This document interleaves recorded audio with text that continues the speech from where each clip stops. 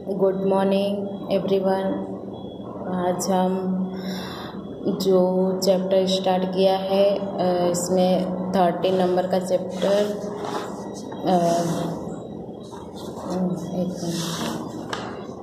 जीता कौन eleven chapter में? आज हम ये तिकड़म दास के कछुए खरगोश की जो कहानी थी, उसके बारे में आज हम पढ़ेंगे और फिर इसके आगे के प्रश्न देखेंगे।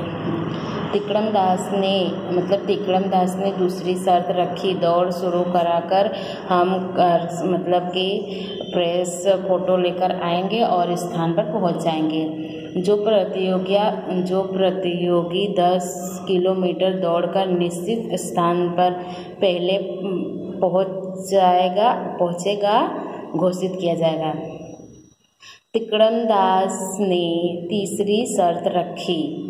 जो तिकड़म दास था उसने तीसरी शर्त रखी। आ, पहले पहुँचने वाले प्रतियोगी को विजेता घोषित किया जाएगा। घोषणा अंतिम और सर्वमान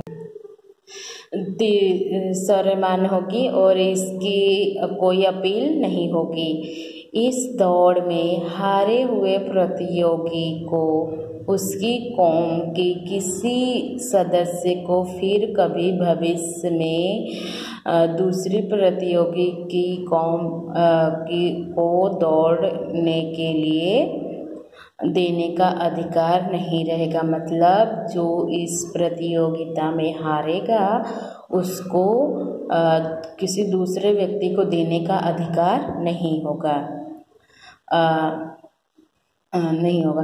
कछुआओं और खरगोशों के बीच यह सदा सदा के लिए अंतिम और मान्य प्राप्त मुकाबला होगा। खरगोश खुशी से झूम उठा। खरगोश खुशी से झूम उठा। खरगोश को लगा कि अब वह जीत जाएगा और कछुआ हार जाएगा। यह तो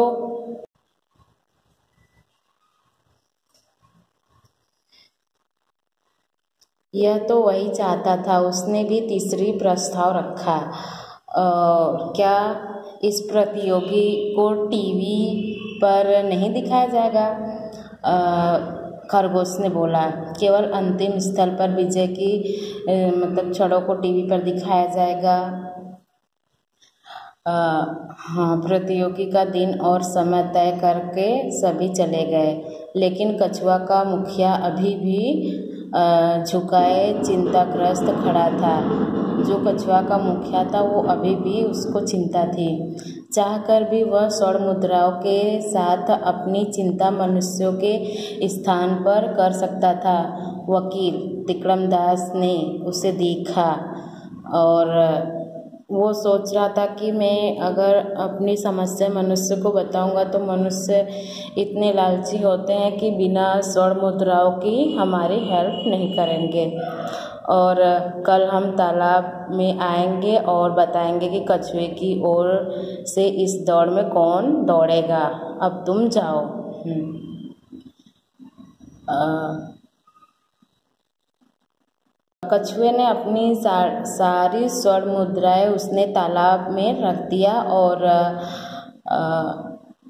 जमा दी। अगले दिन वकील साहब मतलब टहलते हुए आए और कछुए के प्रतियोगी चुनाव के कर गए। मतलब कि तिकड़म दास दूसरे दिन आया और कछु, कछुआ को मतलब प्रतियोगी के रूप में घोषणा कर दिया उसने।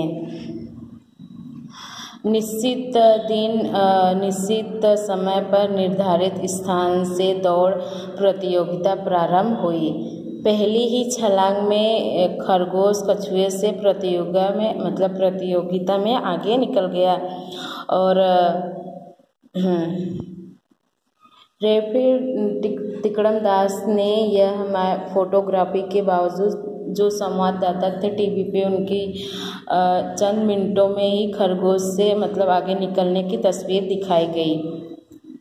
और जो बुज़ुर्ग कछुआ था वो मतलब उसको चिंता होने लगी थी जो मतलब उसको बोल रहे थे कि अगर इस बार हार जाओगे तो तुम कभी आ, इसमें अगर तुम हार जाओगे तो तुम किसी भी प्रतियोगिता में भाग नहीं ले सकते, इसीलिए कछुआ टेंशन में आ गया था। फिर धीरे धीरे सरकता चला आ रहा था। चिंता होकर खरगोश दौड़ लगाने लगा। इस बार इस बार उसने कम से कम समय में दस किलोमीटर की दूरी तय करने की ठान रखी थी। खरगोश ने सोच लिया था, इस इस टाइम में मतलब कम से कम दस किलोमीटर की दूरी तय करना है। रास्ते में सोना तो दूर, एक मिनट मतलब रुकना भी नहीं है। खरगोश ऐसा बोला। थकने के लिए मतलब वह सोच रहा था कि इस बार मैं कछुए को हरा दूँगा और मैं जीत जाऊँगा तो हमेशा हमेशा के लिए हमारी विजय हो जाएगी।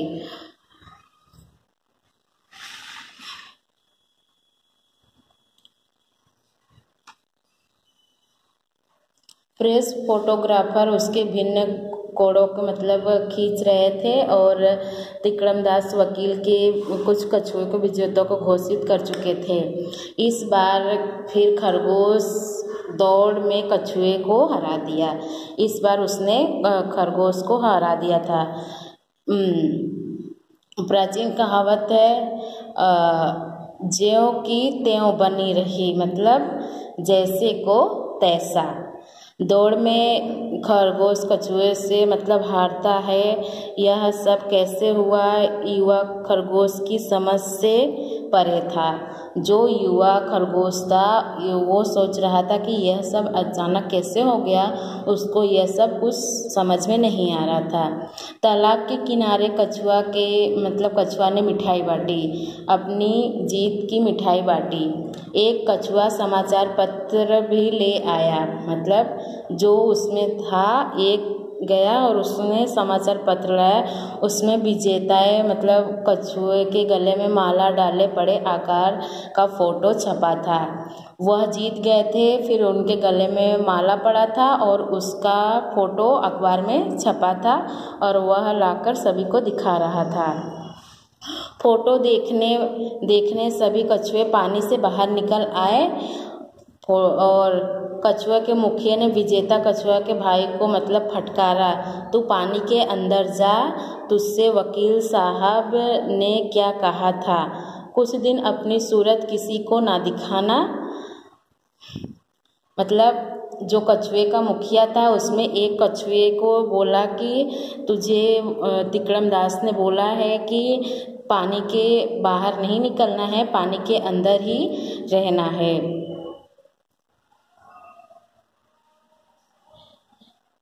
समस्त कछुआ मतलब समुदाय, मानव मस्तिष्क और स्वभाव के विलक्षण के लिए मतलब वह जाने जाते हैं और इसमें यही हुआ कि हमें किसी को कमज़ोर नहीं समझना चाहिए और खरगोश खरगोश हार जाता है और कछुआ लास्ट में जीत जाता है।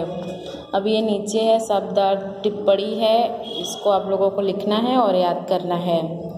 और मुहावरे है कान पकाना मतलब सुनते हुए उब जाना, ये आप लोगों को लिखना है। मुँह काला होना, कलंक लगना।